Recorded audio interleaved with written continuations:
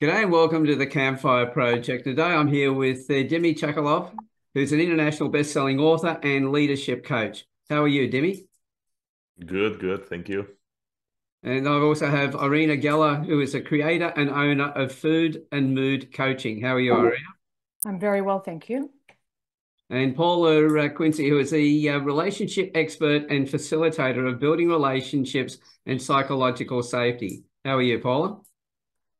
I'm well, thanks, and so great to be here. Thanks for having me as a guest. Oh, you're welcome. So we've got uh, quite a uh, range of places we're from.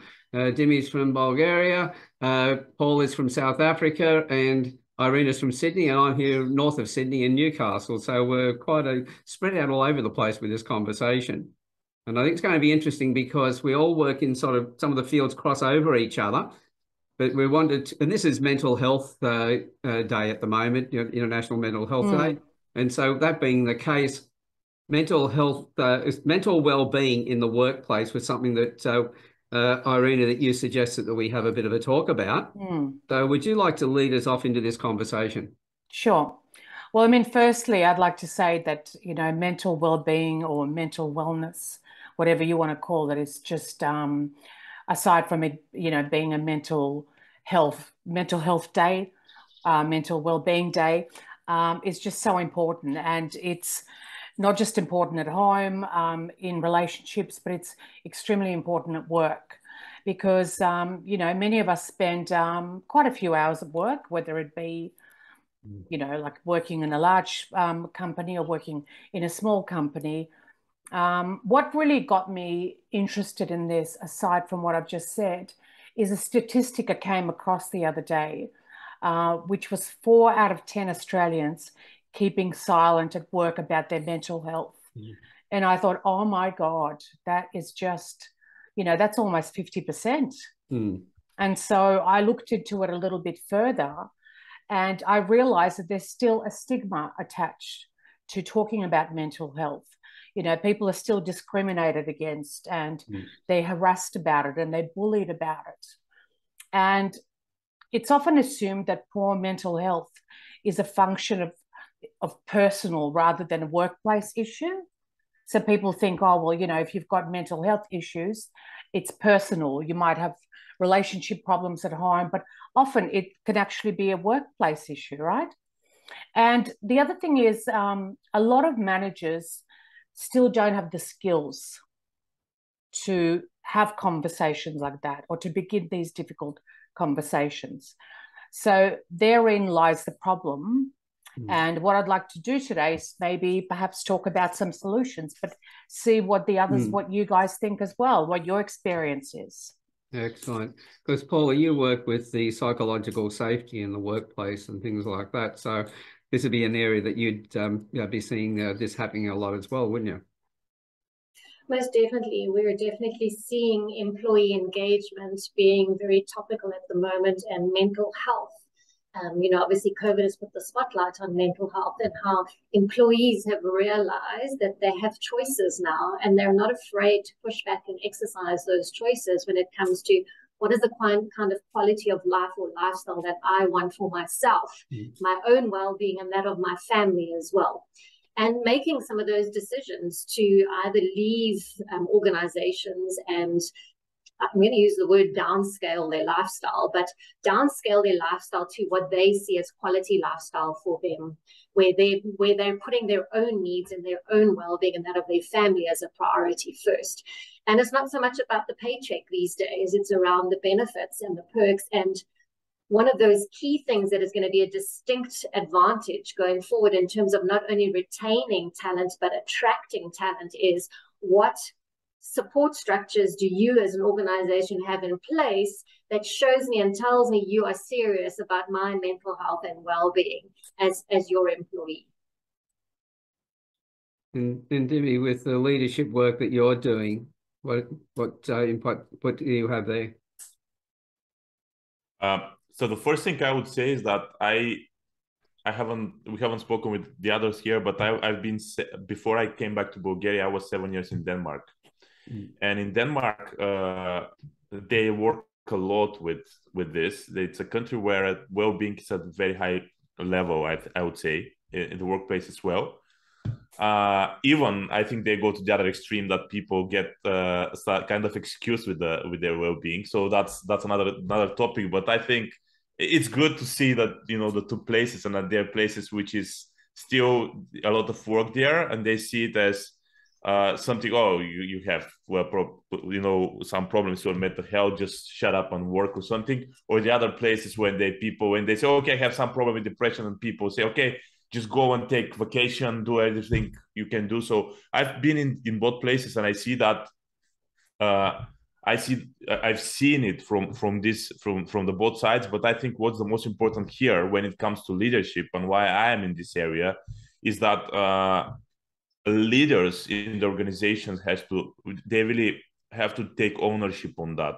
That's one of my actually reasons why I am in this uh, in this work because uh, you know that I, I don't know exactly the statistic, but something like 60 70 percent of employees they um, they want to get out of their organizations because of their leaders and managers. And why is that? Is I think I can come back here to power that actually a lot of managers don't don't know how to do that, and uh, they don't know how to communicate. They don't know how to create space for people, to create safe space where people can feel that they are understood.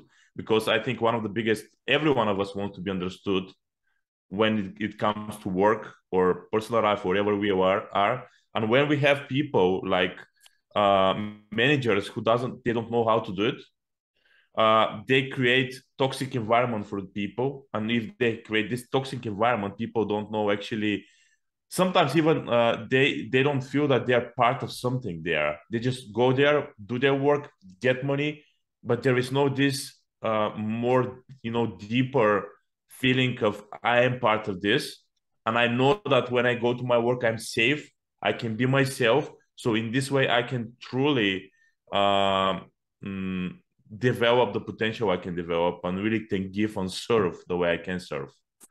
So definitely, this is a big topic for the world nowadays, and we need to learn from each other how to do it better. Mm.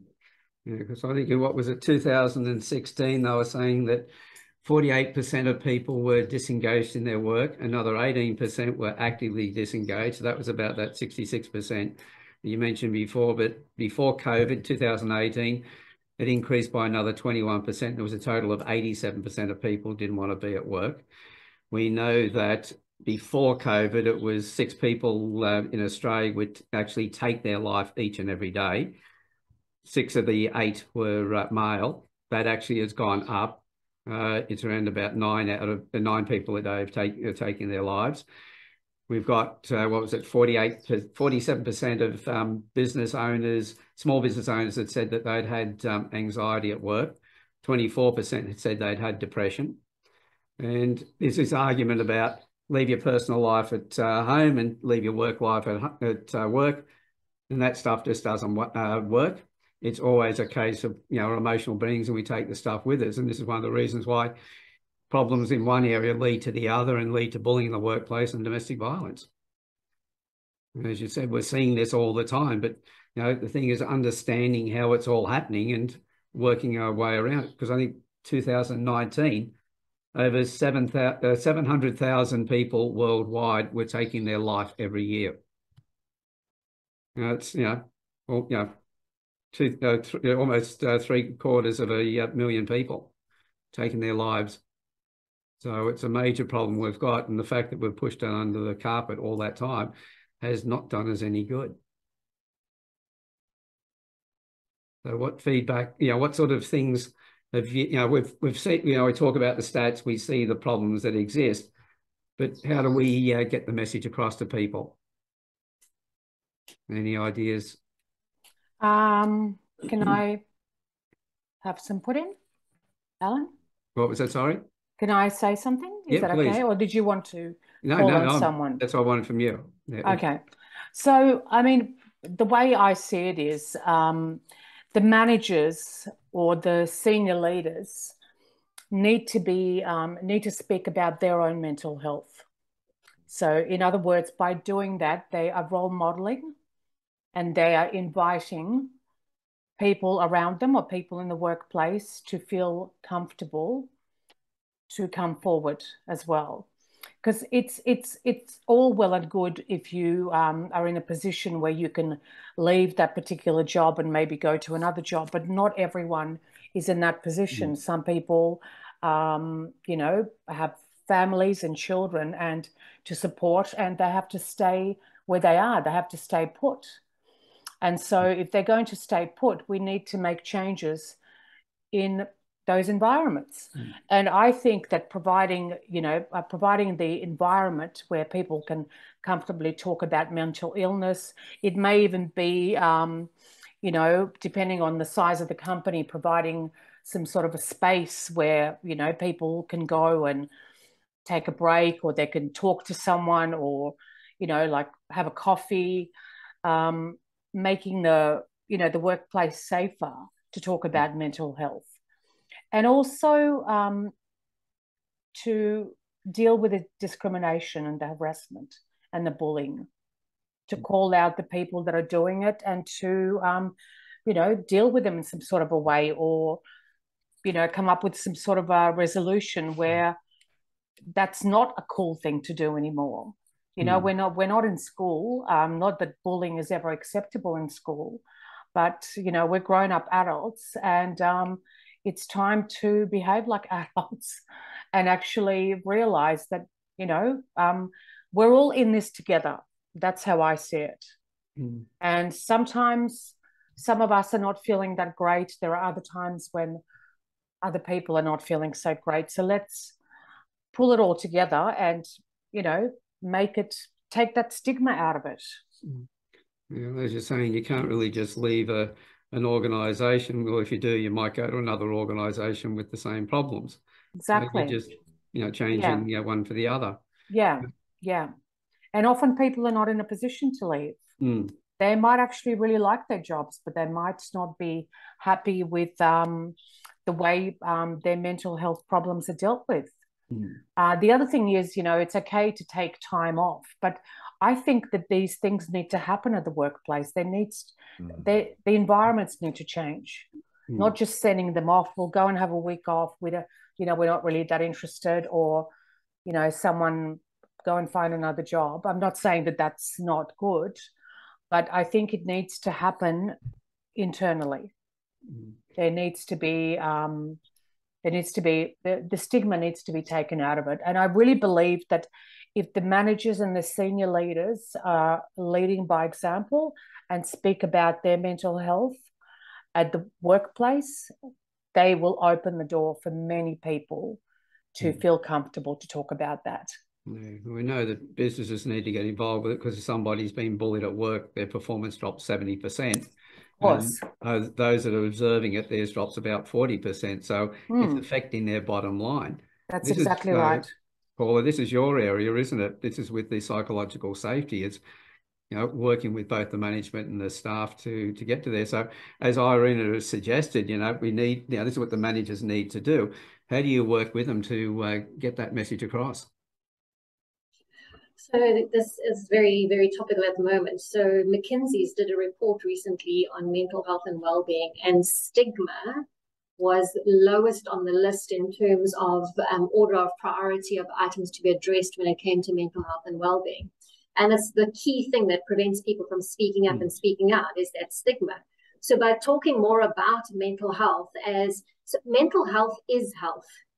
You know, previously we would kind of it was almost like they were disassociated. There was your physical health and then there was mental health, which we didn't talk about. But what we don't realize is mental health is health because when you're in a, a negative or a bad mental, emotional space, it plays out from a physical point of view in terms of our physiology as well, which is causes physical illnesses or diseases. So, so we, we need to stop separating them and go, mental health is health. And it's a, a daily necessity for us to be able to bring the best versions of ourselves to work and to home as well. So the more we start talking about mental health, the more comfortable we become with it. And it's not such a taboo topic or a shh, we need to be embarrassed or, or about it. And we start removing the stigma. Also, that it's okay to not be okay, to put your hand up and say, you know what, today I'm okay, but I'm also feeling sad. Hmm. And and that we shouldn't shy away from emotions because we are human beings, not human machines. Mm. We all have feelings and emotions. And this is where we need to start equipping leaders with leadership skills that brings in compassion, empathy, and understanding by allowing them to tap into their own emotional needs and emotional well-being first so that they can lead by example. And that vulnerability is not a weakness. In fact, it takes a very brave and courageous person mm. to put their hand up and say, I'm not okay. Mm. And so we need to shy away from from vulnerability as a as a bad thing or a weakness and this goes back to gender stereotyping as well you know where men are conditioned to man up toughen up don't show emotion don't show weakness mm. and women that do show emotion are considered emotional wrecks or irrational so mm. we need to we need to get rid of the the gender stereotyping the legacy the all of those things and start talking about mental health is health and it's a necessity every day to bring our best versions into the workplace very much so. You know, I keep seeing the um, uh, we talk about the uh, the stigma side of it and talk about vulnerability, and people looking at others saying, "Oh, you know, being vulnerable, you're weak," but then the fact that uh, going, if you ask those people about being vulnerable who aren't being vulnerable, they go, "Oh, I couldn't do that." And the, you know, that's when we should be challenging them and say, "Well, you can't see it as being weak. Then that's actually bra- uh, bravery to do that." Yeah. Go ahead. Irena. So just um, listening to you um, talk about that and listening to Paula, uh, one thing that I thought of is perhaps, um, you know, um, mental health to me is quite like they're strong words. Um, I like to sometimes call it emotional well-being you know, physical mm. well-being, emotional well-being, because I think well-being is a much more positive word mm. um, than the word mental. Mm. Like there might be, I mean, I'm not saying that we should throw out the word mental health, but I just feel that perhaps there could be some more positivity by calling it emotional well-being. So, you know, mm. like looking at it from a more positive side. And um, just listening to you talk about vulnerability, um, it's interesting because I've just come from a retreat, um, a five day retreat, and normally um, these retreats are full of women more men are starting to come to mm. these retreats and they're actually talking like we you know when we sit at breakfast lunch and dinner you know people sit at different tables and it's just so nice to see conversation flowing and sometimes even tears flowing hmm. you know and I, I, I think that that sort of environment we could like workplaces could really benefit by creating that sort of environment by by perhaps you know holding like um not communal lunches but you know lunches where you know today we're going to we're all going to be okay with being emotional or mm. you know like having some sort of theme days or something where people feel comfortable you know like the, space and where people feel comfortable to talk mm. or even taking um, you know people away perhaps on to retreats you know like maybe for a couple of days and actually just all bonding you know because it is bonding mm. you know when you open up to someone and you you share with someone you feel a certain warmth and you feel a bond and i, I think that's really important very much so putting yeah. it in the right um, atmosphere and everything mm. Jimmy, I can see that you've got. I, I, would like to say, yeah, I, I, just wrote several things here, and I totally agree with you guys because almost everyone was saying about that. You know, first leaders need to really take ownership on on that, and uh, definitely that's one of the things uh, when I work with leaders. When I say I'm a leadership coach, uh, a big part of that is to be self leadership coach. You know, that's that's what I do with people, and and uh, I really gets funny when I talk to some uh, leader and they say, okay help my employees i know everything. Or i am great you know. And when i hear that when i hear this from from a leader it's the first sign that why the organization has a problem is because the leader sees other people as the reason for that. And uh, and when when i talk to them i always say that if you are part of that that will be way more powerful for your employees uh, than if you just say, okay, work with them and I know everything and I'm gonna do my work and do something else. So first thing is that uh, because a lot of leaders they don't have the capacity to be what they, they, they want their employees to be and if they become that if they really work on their resilience i call it and big part of resilience is be vulnerable with what whatever you have and be vulnerable with with your you know your feelings and uh, sharing and it's it's way more it's way better to share your vulnerability with your employees than to just just uh, stay with it in, on, on the inside and you don't say anything to them. And they everything of course at some point because everything you hide is going to run your life and your organization. That's the reality. Everything you, you hide is going to run the organization. And uh, and and and the and the other thing is that i see that the new things are coming like new things when i say well-being in organizations but they use them on the surface. Okay we have this wellness center you can go have exercise and do yoga and talk but there is ne- there is no the depth which is needed to create the change. What i mean by that is it's not only to have it as something it's like you have values and uh, vision but it's just written somewhere there. It's the same you know? You just have it but you don't use it you don't go in depth with it. You don't embody it. And when you embody these things when you work on them then the change comes. Mm. that's another thing which i see uh, is and that's why it's very important to work personally with everyone. Because then you go in this depth and then you know you can align everyone. And uh, team building the word team building i don't know how it's in australia and south africa but in many places in Europe is still going somewhere having fun only and drink or, only that. And recently I was talking to someone. We had team building. What is team building? I said to him, and he was, "Oh, we went to this restaurant. We drank all, all night, and that was great. We we built ourselves." So, so so I think that's also something which the language we have towards things also need to be changed and understand what exactly is that and how is that going to help for the organizations and the mental health and well-being. Hmm. It definitely needs to be something that's ongoing because just going off to dinner and uh, going for drinks and things like that. Um, yeah, those that do it every week, so Friday night they get together, etc. They they have that uh, bond, but when you only do it once or twice here and there, you don't get that connection. But whatever you put in place has got to be ongoing. Irene. Yeah, I was just going to say that the team building drinks could actually um, add to the mental health issues. Mm. you know, I think um, it would be nice to have a day that's called "How are you feeling today?" Mm. Or you know, or have um, outings perhaps where they can go and um, I don't know, do an hour of yoga or do some sort of an activity with, that perhaps will open them up or will make them feel like opening up a little bit more. Mm. So rather than drinking, because I think eating and drinking is just, you know, I, I don't believe that when people are intoxicated, they really form mm. true um, bonds or a true bond. Mm. Yeah. Yeah.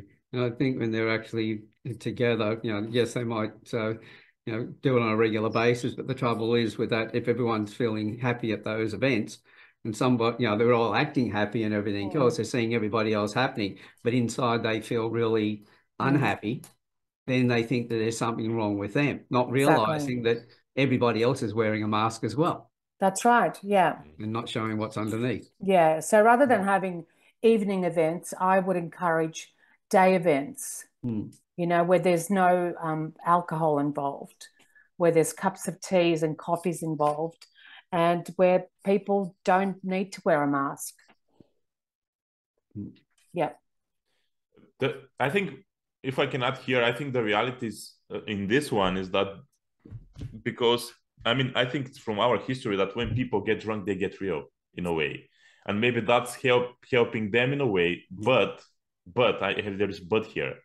Uh, we know now many more healthier ways so that we can do that. So uh, before people were not aware on that, and that makes sense that they did that.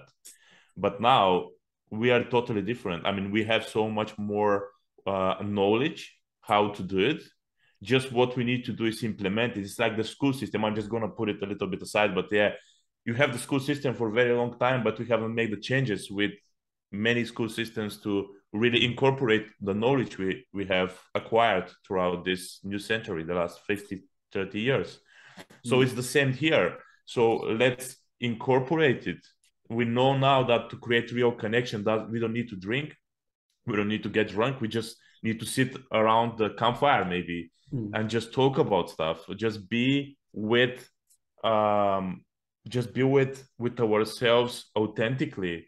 And if everyone can hold this space, and we can, if we learn to do it, then it will be way more easier to really create the bond we want to create, so that I mean, even when we have the challenges in the organization, when we have this bond, when we have this connection, we, we, we it's way easier to really go through all the hardships.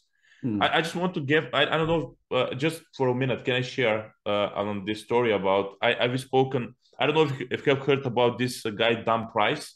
Uh, he's a Canadian uh, CEO of a company. Very long st- story but I'm gonna share it for one minute. Is that this guy decided to uh, when because his employees had a problem with the salary and they couldn't afford houses and families and stuff. So he decided to equalize the payment in the company to everyone to have the same payment, like seventy thousand dollars per year or something like this. Mm. And this person, by doing that, it was two year period, of course, to do it because it couldn't be done in the beginning uh, immediately.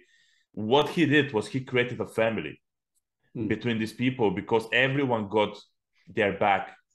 And then when the COVID started, this is just one of the things which happened, but many, but everyone in the company decided to uh, diminish their salary, to decrease their salary 50% in order to help the company to survive COVID. Hmm. That's it. And that's exactly what we need. Hmm. And that's how we can face challenges with comp- in the companies because if we have this connection and commitment, nothing can stop us, hmm. actually. Yeah. It's like Irena said before about um, the leaders uh, leading the way. Well, in that particular case that you just talked about, Demi, I know that he was the first one. He forego forewent all of his uh, bonuses and everything else, and drew the same wage as everybody else.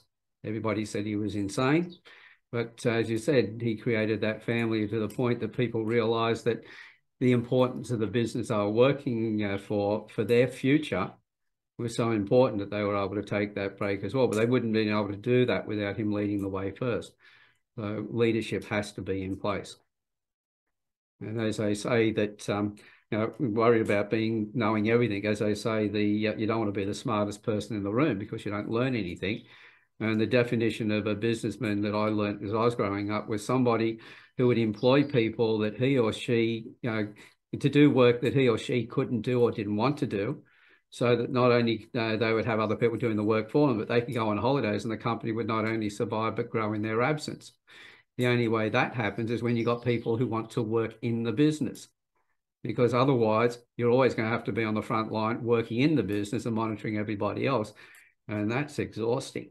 So the smart uh, bosses didn't want to be the smartest person; they wanted to hire people who were smarter than them, so that they could then uh, have the lifestyle and work on their business and grow it. So it comes back to what you were saying, Irena. Can I just say something? Yeah, please do. So Don't I think no, I just well, I wanted to make sure you were finished speaking. I didn't want to be rude. So I, I really believe that uh, managers, you know, depending on the size of the company, owners of companies could really benefit from getting these skills. Mm. You know, the skills, not the skills to listen, actually to be able to listen, not talk, and not listen in a way where they just want someone to finish speaking so they can say something. So, mm. you know, mindfulness skills, um, rather than um, worrying about making more money, I actually think that these sort of skills will will in turn make them more money. Because if they can listen to their employees their employers will do anything for them. Mm. You know, if they can welcome them and make them feel like they're part of the family. That's really what um, a good workplace is about a healthy workplace where people want to come to work, they want to, and they want to work together and they feel welcome and they feel they feel understood. Mm. Yeah. But isn't that the um, uh, the conditions of uh, love to feel that you value, that contribute, mm -hmm. you have a place? Yeah. Yeah. And when people feel that way, they want to be there and they want to help the people around them. Exactly. Uh, and I think I love the fact that you mentioned before about talking about emotional um, uh, health as opposed to mental health. Yeah. Because we talk about having emotional awareness, having emotional um, mm. intelligence. Mm. So I think if we use the word that, that, we, that brings you to uh, emotional health, is mm. probably better than saying that leads you to mental health. Exactly. Yeah. It just and, sounds much hmm. softer and much mm. more positive and kind of inclusive, you know? Mm. Mental health just sounds cold. Mm. That's yeah. how it feels to me. Hmm. And um, yeah, yeah, I agree. I think the, the term mental um, processes or mm. mental processing is uh, is accurate because then we're talking about the the the logical side of uh, how things are put together and how they flow. Mm. Whereas we're talking about mental health, well, it's all about emotions, stress, anxiety, all exactly. of those things exactly. are the biggest problem. So, yeah, I think um, we should uh, start pushing to have that word changed in that context. Mm. Mm. And a lot of the stress actually comes from not feeling included, not feeling mm-hmm. um, and feeling excluded because you know, like, forget about the stress you may have from your job, but this other stress could almost be so overwhelming that people just don't want to go to work. Mm. You know, sick days would actually be reduced if people were better looked after, if people were hurt Mm. They would want to run to work. They want to see their friends. They want to work for that company rather than not wanting to go to work because work sucks or, you know, this mm. person sucks or, you know, all that stuff. Yeah. I remember working for a boss who was, um, you know, we got paid so much sick leave each year, and uh, but when he retired, the amount of sick leave he had was, you know, almost a you know best part of a year of um, uh, that he had uh, accumulated. Mm. And the reason he hadn't taken it was, well, he didn't get sick very often, but he was always happy. He loved his work. He wanted to mm. be hmm. there all the time. He enjoyed exactly. the men that he had around him. There was exactly. a lot of camaraderie. Yes, mm. there was a lot of stirring of each other, but that added to the hmm. camaraderie. Yeah, that's it's always it. done in that yeah. light-hearted manner. Yeah. There's a big difference between looking forward to going to work and mm. not wanting to go to work at all. Mm. Okay, I'll mute myself now. Why? this is... I think that I think that was great, Irena. Um, it was great, but it, it links back to something that was being said earlier. I think Jimmy, you said around self leadership. So yes, while the employers have a responsibility to provide a safe working environment for their employees, which is actually a I know here in our country with the Occupational Health and Safety Act, it's a compliance requirement. Um, but but that doesn't just mean a physical a physically safe working environment, it means an emotionally safe working environment as well. Um, but also, so, so yes, the employers have a responsibility, but coming back to self leadership and, and what you were talking about now is we also have a responsibility to ourselves mm. to take care of our own well being and not just leave it up to the company to take care of our well being. And at the same time, from both sides, we need to find a compelling reason to, that gets me out of bed every day, that wants me to come to work.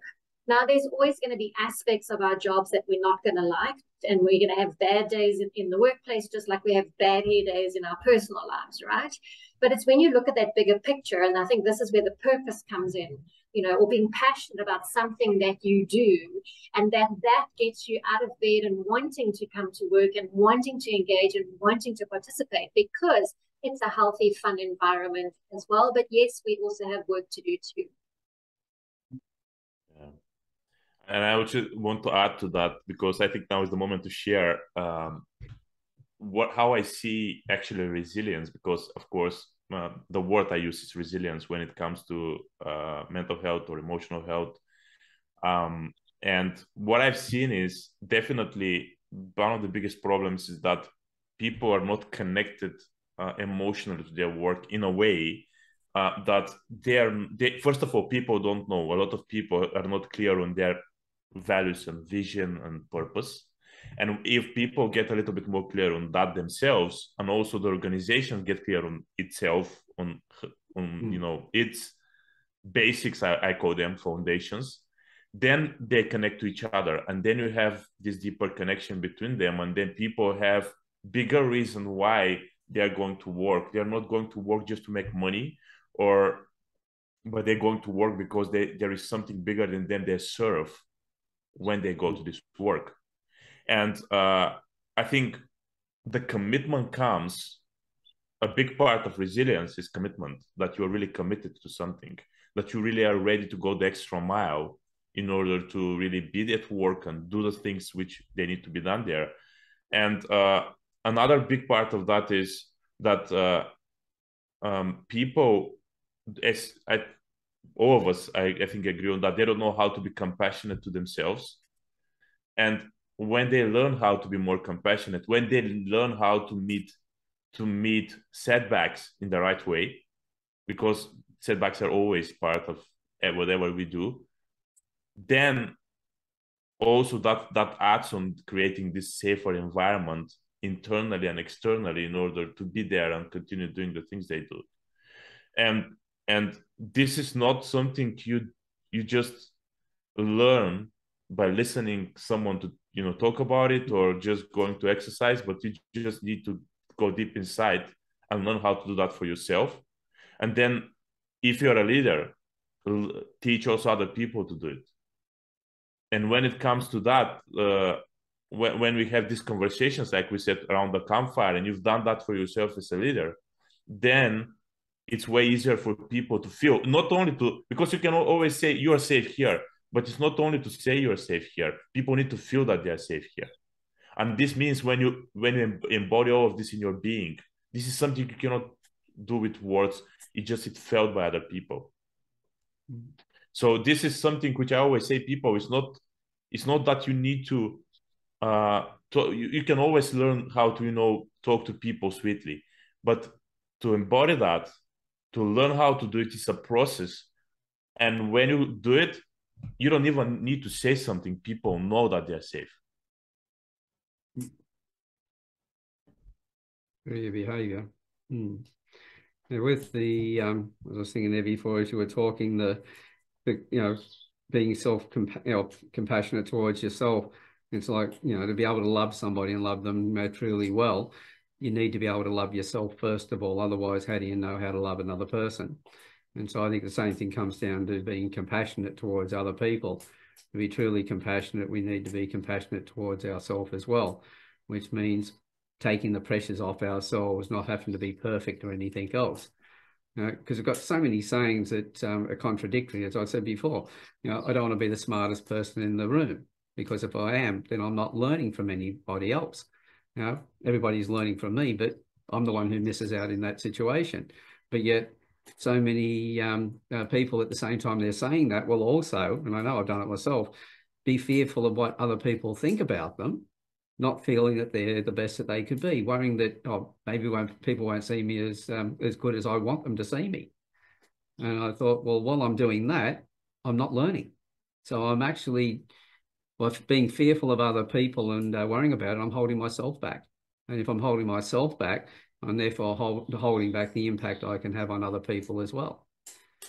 And if you're running an organization, knowing the people aren't at their uh, the happiest, not working at their best, but you know, because you know they'll work their best when they are their happiest. So if you focus on the them being happy at what they're doing and feeling like they're valued and they can contribute, they will be uh, much more uh, productive. And the only way they're going to do that is by the interaction that they uh, have with their management and their leaders within the organisation, and being able to uh, have an environment where they can talk to each other. Irena. I was just going to say a really great question that um, managers um, and business owners could ask their their team or their people is, "What do you need from me?" Mm. You know, to feel safe or to feel um, included. Um, you know, just even asking a question like that is an invitation for people to speak. Mm. Because a lot of um, managers and a lot of business owners kind of sit up here, whereas everyone else sits down here. Mm. You know, they sit in their office and you know on their pedestal, whatever whatever you want to call it. And I think actually going out into the main area and just saying, "What do you need from me?" or "What can I do?" Mm.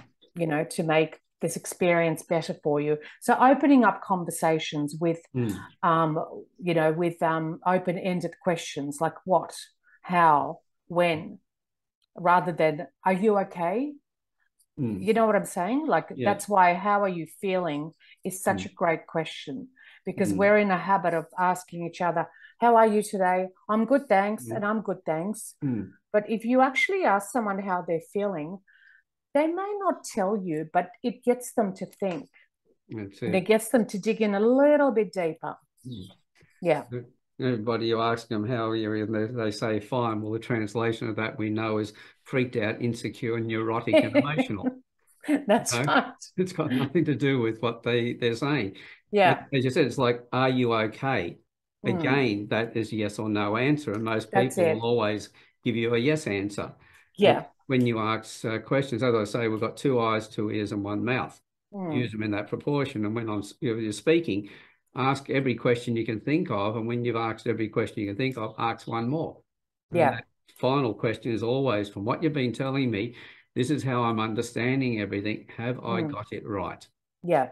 Yeah. And if you have, the person, you know, you're going to have a great relationship with that person because they know that you've really cared and you've really been listening. Yeah. So you got loyal, their loyalty straight away, and at the same time, you got a rapport with them.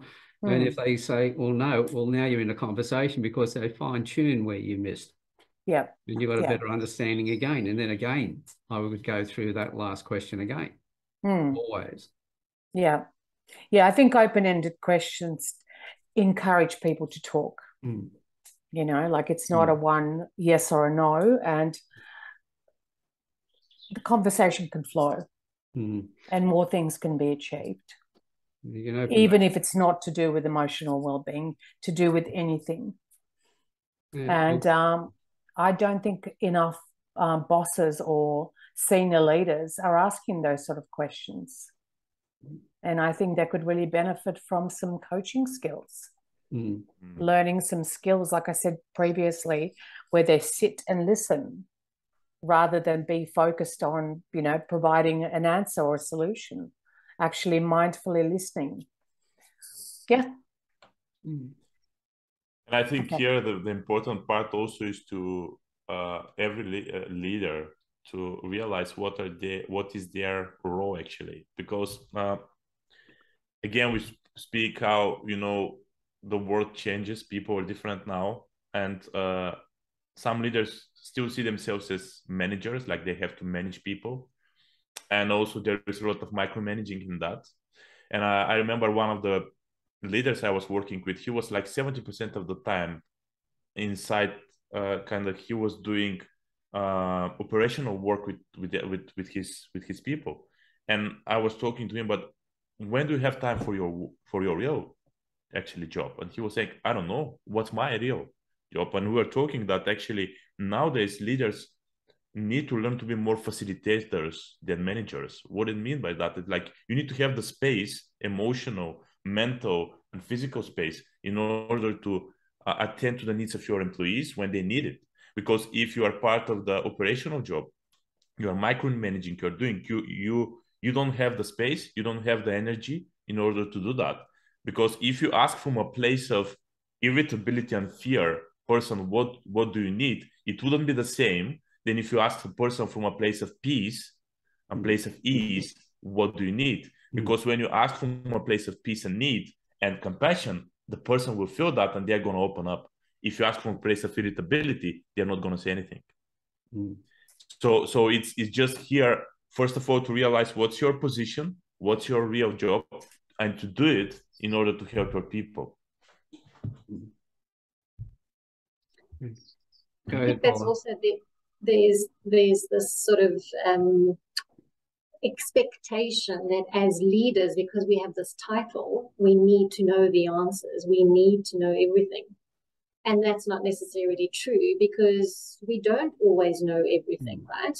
Life is a lifelong journey of learning. And even as leaders, there are times when we are uncertain and we don't know the answer, but we still have to take action. There's a difference between knowing the answer and taking action, and taking action, but but with the collective wisdom in the room. And I think that's where uh, Irena, you said around, you know, let's have these conversations. Let's let's help them, equip them with skills to to ask more questions and to listen than mm. give the answer um, and to collectively use the collective wisdom in the room to to move us forward and shift us forward and so helping leaders to also step into that vulnerability of well i don't know and i don't have the answer but you know what i can find out or to turn it around and go so what do you think the answer is mm. and being willing to hold the space and listen and hear what the other mm. voices in the room are saying, which is where where the diversity, inclusion, and diversity comes in.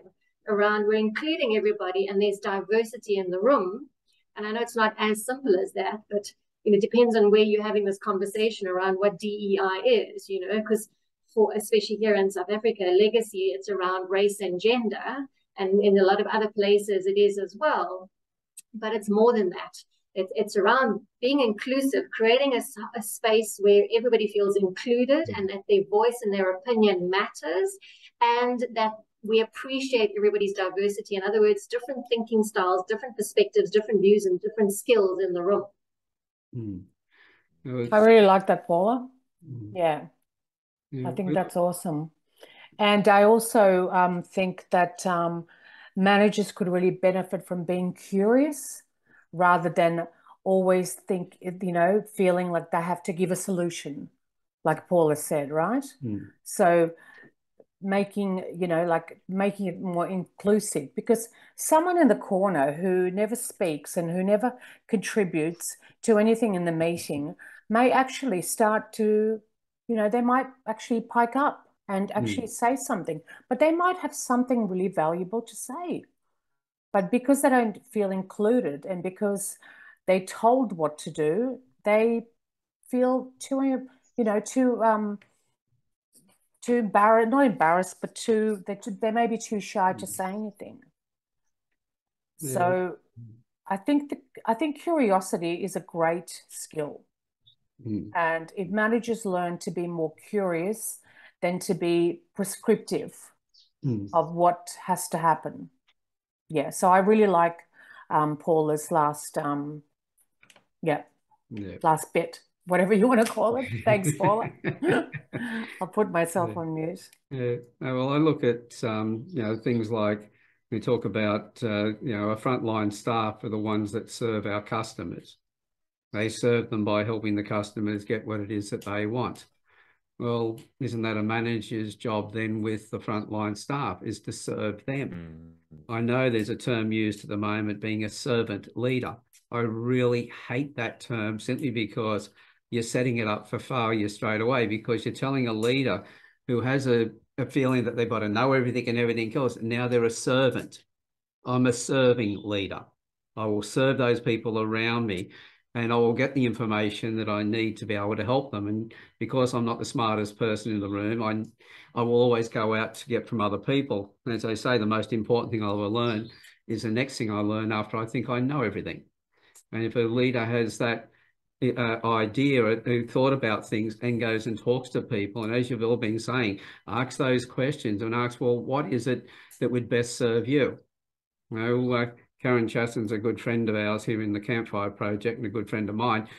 She, we were doing a talk the other week and somebody asked her, well, when, what was it like when you first met Alan? You know, what was the situation? We met at a networking uh, do and we, um, I told her my name and my first comment that came out of my mouth after that was, how can I help you? You know, there was nothing about what I do or anything else. It was just, how can I help you? What is it you're looking for? And um, that was, you know, that was as open I could possibly, uh, well, actually, can make it even more open in the questions. Explain, tell, describe what you, you, you know, your life, what you want, you know, and you make it even broader. Then you come back to the why, what, where's, where's, and how's, and you can be a bit more probing into it. And then finally, when you've got all the questions asked, you can ask that uh, yes or no answer. Have you got it right at the end? And that's the only closed question I ever ask. Yeah. And Alan, when you ask, um, when you what when you ask that question, you're actually inviting someone to talk. That's to it. Open up Mm. and to, and you listen to their story, Mm. right? Rather than you um, going on about what you do and how important you are, um, Mm. and you know, like, and the other person just stands there, kind of feeling quite bored and not really, and they lose interest very quickly. You know, like um, yeah, I think that's really good. Yeah. Yeah. I think when you're in a situation like that, the person who talks the most loses. Yeah, totally. Uh, you're asking the questions, and you you know you're getting you know you're really connecting with the person, and as long as you're genuine about it, you really want to Mm. know. Yeah. And, uh, and that's one thing that well, this is ten years ago or whatever when I first met you know, Karen, and that's the the thing that stuck in her mind all the way through. Mm. I was interested in finding out, you know, who she was, what was, you know, how I could actually help her, not what she did, not what I could, you know, actually do from my business, because she didn't even know what my business was, but, you know, how could I help her? How could I serve her? And that's that curiosity, Mm, right? And then the other person feels heard. Yeah. that's it. Mm. Quite simple, but very effective. Mm, Yeah. Mm. That's why I said that managers could really benefit from learning some coaching skills mm, and asking, you know, those sort of questions Mm. and just sitting and listening without an agenda. You know, the Yeah. best coaching is coaches who don't ask, you know, who don't uh, talk, but they just ask questions. Hmm. and uh, sit down and listen to the questions and then ask questions on those. And the person then realizes their own solutions to the situation, Yeah. therefore take ownership of it. Yeah. Before, you know, people come to me, you know, in the business, or, you know, when I was in telecom and other businesses before that, people come to me and go, well, I've got a problem. I go, right, well, you come to me with the problem, but also come to with me suggestions for a solution. Hmm. If you just come with a problem, I can't help you. But if you Yeah. come with some solutions or thoughts of solutions, we can then talk about it and work out which is the best way to go. Yeah. Because from them telling me what the solutions that they thought were possible, I knew where they were coming from. And then I could then talk to them and we'd come up with ideas that would steer them off to do the things that they wanted to do to be able to fix Sure. the problem. I wanted the problem fixed. Best way to do it was have it them uh, really wanting to uh, fix it the way they wanted to fix it. Yeah. And also reflections, like Hmm. when someone's telling you something, to be able to repeat that in your own words so that they feel that they're actually being heard. Hmm. Hmm. Yeah. And ask questions on that to go even deeper again. Yeah. All right, I'll mute myself now. and actually that's that's the important part here I, i'm coming back again from a place of being that um, it's very important for people to understand again leaders especially that when they embody that then that is going to happen because some people say okay i know all the tactics i know how to speak to people i know how to influence it's not that you can know everything but it, should be genuine genuine right it should be from from the inside i mean i i can ask one thing when it's, I'm really curious about the person and they're gonna know I'm curious, I can say, How are you? And they can know that I really ask them how they are. Or Mm. I can tell how are you and they know that I don't care. Hmm. And and and and that's I think what makes the deep work. It creates this embodiment. Hmm. And that's what people and everyone need. I mean, the leaders, they, that's why they need to do the work first so that they have Mm. this embodiment, they have this thing inside, so then to use it in order to help other people do it. Yeah, that's right. If you want your staff to open up, then you're the one who has to open up and lead the way. Isn't that the word leader? That's where it comes in again. So, Paul, I know, you know, because one of the things that's starting to really pick up over here is that psychological safety. There's a lot more organisations looking at it. I know a lot of, you know, you're probably just ticking the boxes, but I know a couple of friends of mine are running programs that really delve into things deeply to find out you know, the manager's role, the, the staff's role, and then looking at the different areas where they're different centres, how they're functioning compared to each other and delving in and finding out why some are working really well and why others are having issues and getting everyone involved. Is that the way it's working over there in South Africa? I definitely think there is much more of a shift towards that awareness around the impact that leaders are having on the people around them. I think it there's still a lot of work to do, especially with, with middle management, because some of them feel like the hand in the sandwich. They they're getting pressure from above to get people to come back in the office, but mm. they're getting resistance from the bottom about people that don't want to come back into the office. Mm. So I think they, they're feeling a bit like the ham in the sandwich. But it's how do we equip those people with the necessary skills that they need, but at the same time, how do you keep your finger on the pulse in terms of what's happening on the ground level where where your where the where your real people are because your people are your business. And if your mm. people aren't well, your business isn't well. So, yes, doing these regular climate surveys or culture surveys or whatever you call them, I think is a good thing. I think what's most critical is how it is being positioned when it mm. goes out and gets distributed, and then how the results and the insights are being communicated back to show complete openness and honesty and transparency. And then, thirdly, how do you close the feedback loop to go, this is what we've done? Because we've heard you, we've heard what you've had to say, we, we know that these are the problems and the issues. This is what we're doing to address these things and keep the feedback loop going so that people know that it's something's happening because often, and I'm generalizing when I say this, often when we do these surveys, that's great. We've ticked the box, we've done it, and then it kind of falls falls flat there or it falls over. We get back on the hamster wheel. We're busy, busy, busy, do, do, do. And when it comes to doing the next survey, people go, well, why must we do this? Because the last time we did this, nothing happened, right? So you actually diminish any level of trust and psychological yeah. safety that you've established by doing these things. Mm. Yeah, no, I gave a talk a few years ago for a um, a group. They were doing a, a full day of uh, training, and the senior manager was there talking about you know way forward and all the rest of it. And he's talking about the importance of you know that's why they brought me in to have a, a talk to everybody about uh, how the staff were important and everything else but the way he conducted himself and everything else, when I was talking to people later on, people just opened up to me and they were just telling me how they just thought the whole day was a, you know, just a whitewash. It was a con to try and get them to work harder, knowing that uh, the, the uh, senior manager had not changed one iota. And so this is the thing you have to be genuine about. You have to really care. You know, this is one of the reasons why I always find what's in it for the person I'm talking to to get their attention. And the, the person who owns the business, it's having a business that's growing, that they're making money. So I find, first of all, how that um, uh, by working with their staff, they will make more money and in the process show them how to do that.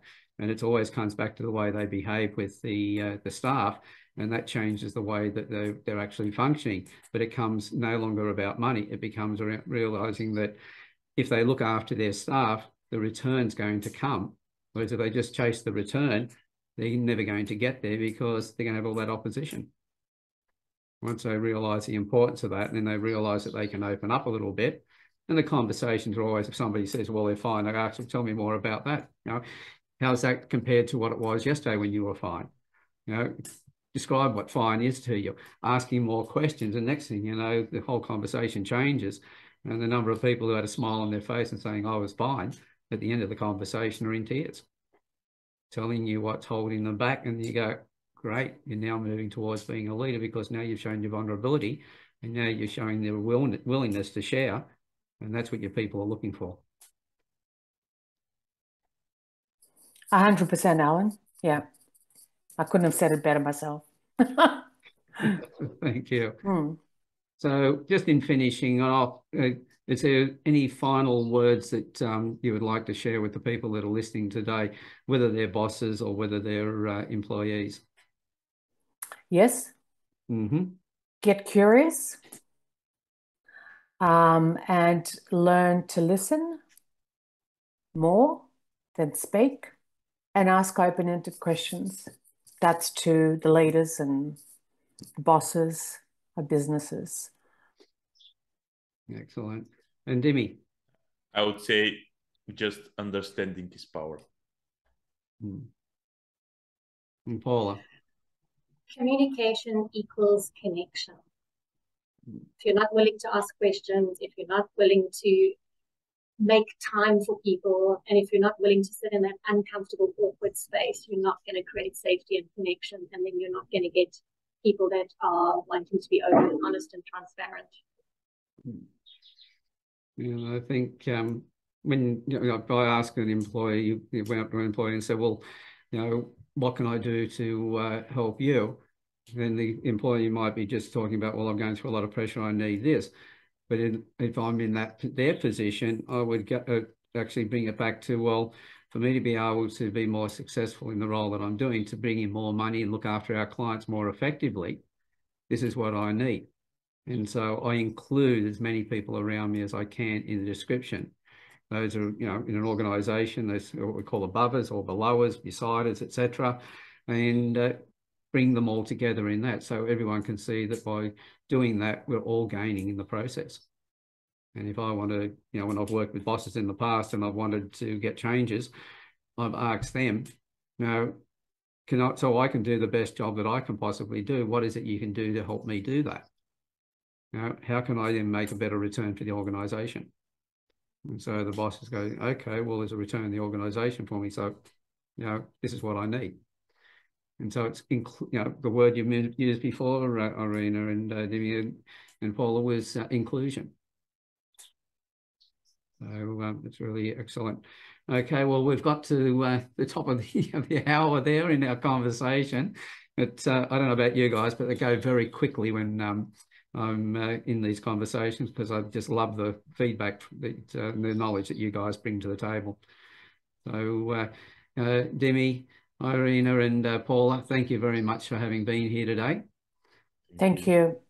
Thanks, everyone. And everybody who's listened in today, you've got the the contact connection uh, uh, uh, connections for uh, each of these uh, people. Get in touch with them. Follow through. If you want to know more about the psychological safety side, get in touch with Paula. You know the connections, etc. Irena and uh, Demi, and we're all here for each other. So be yep. open to ask questions. We're all in this Thanks. together. That's Thank it. you. Take hashtag, care. Hashtag Bye. we together. Thanks everybody. Thank Bye you. Bye. Bye. Bye.